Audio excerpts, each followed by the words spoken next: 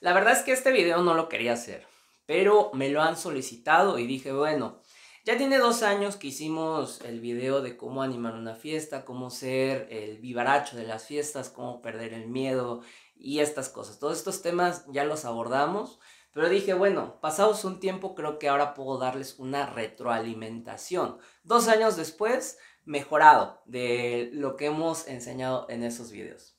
¿Vale? Bueno. Pues entonces, primero que nada, bienvenidos a un video más. Les saluda a su amigo Víctor Moncada, siempre amigos, nunca inamigos, ya saben. Así me identifican. En este video básicamente explicaré cómo animar una fiesta, cómo ser el alma de la fiesta sin caer en frases, sin caer en clichés. ¿Esto por qué? Porque hay frases, hay clichés que pues son muy utilizados, que están de moda, son divertidos y todo, pero como las modas lo dictan, son moda y pues tienen su momento donde dejan de funcionar. Entonces, las frases no es lo que van a encontrar en este video. Si buscan frases, yo les sugiero otro tipo de canales. Así que, una vez aclarado este asunto, también quiero decirles, informarles que pues no es lo mismo que yo como DJ poblano te dé unas frases que se apliquen aquí en Puebla, aquí en México, a por ejemplo nos vamos a España y vamos a animar en España, ¿no? Aunque hablemos el mismo idioma, realmente no funcionarían nuestras frases para animar porque no estamos en el mismo contexto sociocultural. Hay variaciones, queramos, nos guste o no, somos personas muy distintas en algunos aspectos. Entonces, entendido esto, animador no es el que nada más toma el micrófono y dice frases que están de moda o que se dicen aquí, en lo local, sino más bien el que puede entender y comprender que hay ciertos factores que te hacen ser el alma de la fiesta. ¿Cómo ser el alma de la fiesta? Pues es muy, muy, muy complicado, pero nada del otro mundo, no es algo imposible que digan, ay no, nunca voy a poder. Por supuesto que puedes, todo el mundo puede animar una fiesta, es cuestión de que hagas lo que ahora te voy a decir. El primer punto, el primer paso para poder animar es que pierdas el miedo, porque si tienes miedo, pues no vas a llegar a ningún lado. Dime alguna persona que haya logrado hacer algo con esa sensación de miedo. Miedo que, que te tiemblen las piernas, que te están sudando las manos, que se te está cortando la voz. Es que sin voz no vas a poder animar nada. Entonces, primero, pierde el miedo. Una vez perdido el miedo, pues ahora sí que mira a la gente, para quién estás trabajando, para quién estás animando. Es ahí donde tú, tú mi amigo, amiga, tienes que ser un elocuente sinvergüenza. Sí, dije bien, un sinvergüenza elocuente, ocurrente.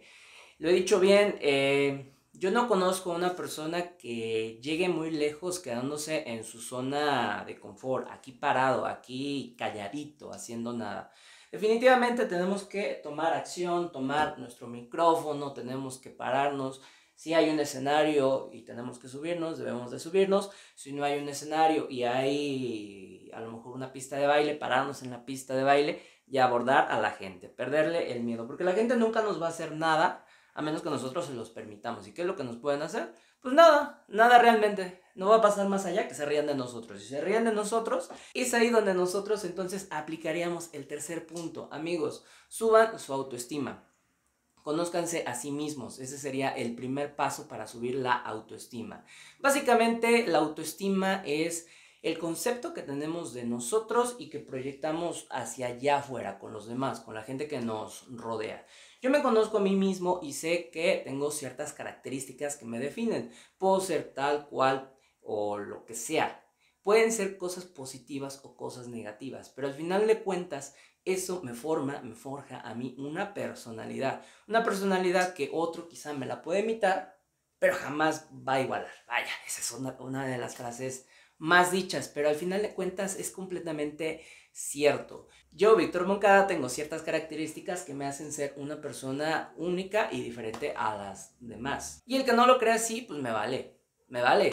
Y esa es precisamente la actitud que uno debe de tener ya aquí mentalizada. Autoestima básicamente se refiere a eso. Me conozco a mí mismo, sé cómo soy, sé cuáles son mis virtudes, sé cuáles son mis defectos y si tú no estás de acuerdo, no me interesa. De todos modos, lo voy a seguir haciendo. Entonces, el día que tú estés parado en el escenario y estés animando la pachanga, que estés animando la fiesta, pues si alguien no está de acuerdo contigo o no te hacen caso la mayoría de las personas, pues entonces tú tratarás de hacerle la lucha. Pero también tienes que tener en cuenta el punto número 4. Bueno, el siguiente punto, realmente no los estoy contando.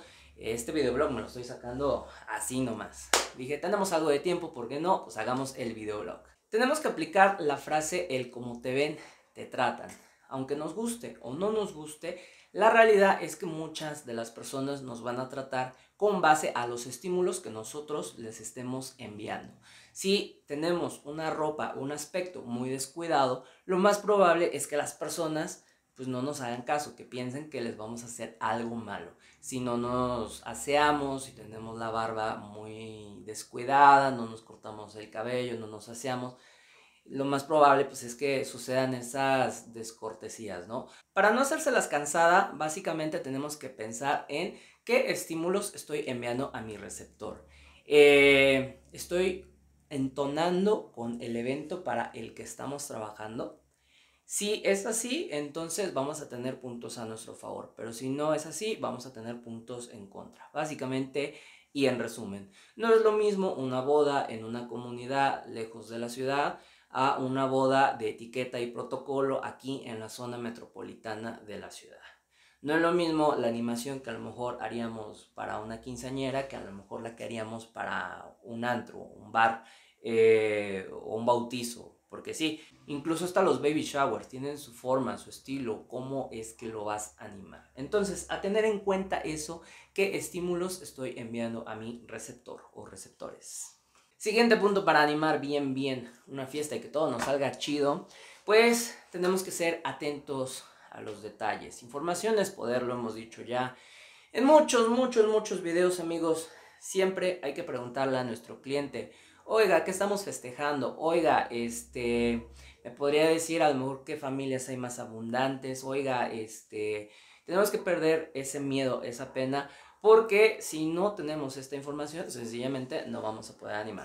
A mí me ha pasado que voy a, por ejemplo, convivios empresariales, este, y no lo digo por la época de ahorita, que es diciembre, sino que en años pasados me ha pasado que voy a la típica fiesta empresarial y no sé de qué empresa es, no sé si son empleados a lo mejor que tienen un puesto directivo o a lo mejor son mezclados de todo tipo de personal, no sé si son maestros, no sé si son lo que sea, en mil de posibles situaciones. Entonces, toda esta información nos va a ayudar a poder interactuar con la gente. Podemos decir, y que levanten la mano los maestros de tal sindicato, no lo sé, realmente eh, esa información nos va a ayudar a pensar y a decir, no, pues creo que sería más conveniente decirlo de esta forma. Creo que sería más conveniente decirlo de otra forma, ¿no? Yo no conozco a alguien que pueda animar una fiesta sin saber a lo que va. Entonces, sí tenemos que ser muy observadores con el entorno que nosotros estamos teniendo.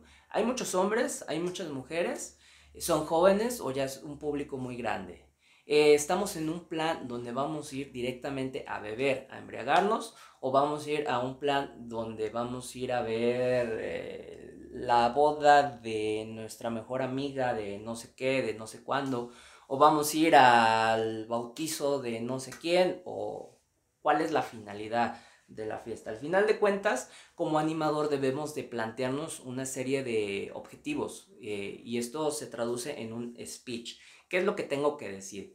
Si como animador eh, mi finalidad, mi objetivo será vender bebidas alcohólicas, porque eso me lo ha impuesto el lugar local donde yo estoy, entonces entender que con base a las bebidas que yo tengo, voy a estar interactuando con mi público. A lo mejor lanzo una promoción, a lo mejor doy a conocer la bebida, a lo mejor hago un concurso de baile y, este, y esto pues se da solo, le preguntas, oye, ¿cómo te llamas tú? Y vas interactuando con la gente. Conclusión, amigos, siempre amigos, nunca inamigos. Conclusión, siempre tengan información de su lado. Si no hay información de por medio, no van a poder animar nada, salvo que la vayan sacando. Eh, me ha pasado que sí tengo que estar con el micrófono y preguntarle a la misma gente, oigan, ¿qué estamos celebrando? Pero esto, ¿cómo lo logro? mediante el perder el miedo. Mucha gente a lo mejor lo puede tomar a bien, mucha gente lo puede tomar mal.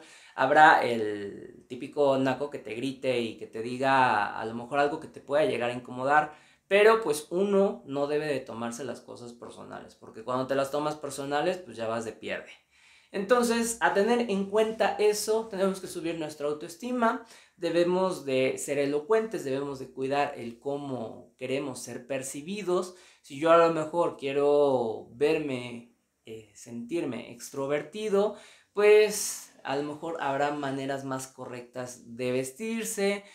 Eh, si quiero ser tomado en serio, pues no es lo mismo un lugar que otro. Entonces sí hay que fijarse para quién estamos trabajando quién es nuestro cliente, dónde está nuestro cliente, eh, qué quiere nuestro cliente, en mil cosas, en mil posibilidades.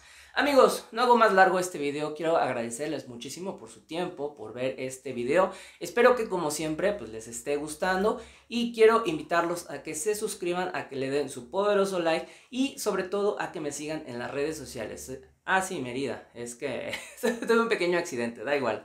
Yo supongo que eh, les podré contar por stories de Instagram. Si me siguen, pues ahí nos estaremos viendo. Les estoy compartiendo escenas de los eventos que voy teniendo más en esta época.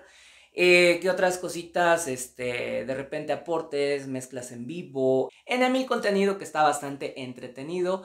Así que si eres un amigo nunca inamigo, te invito a que me sigas en el Insta. Me encuentras como arroba DJ. ¿Ya te suscribiste al canal de YouTube? Pues ojalá que lo hagas porque no te vas a arrepentir. Te va a encantar el contenido. Y más, y más, y más, y más, y más si tienes un equipo de sonido móvil. No te quito más de tu tiempo, que tengas bonita noche. Hasta la próxima.